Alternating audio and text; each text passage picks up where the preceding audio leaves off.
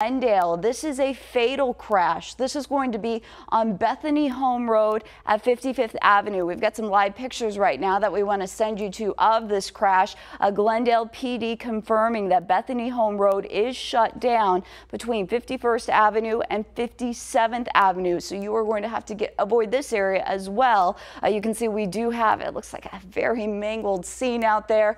Uh, you know with uh, fatal crashes that law enforcement is going to be out there for some time and our prayers with those families that are impacted by this crash.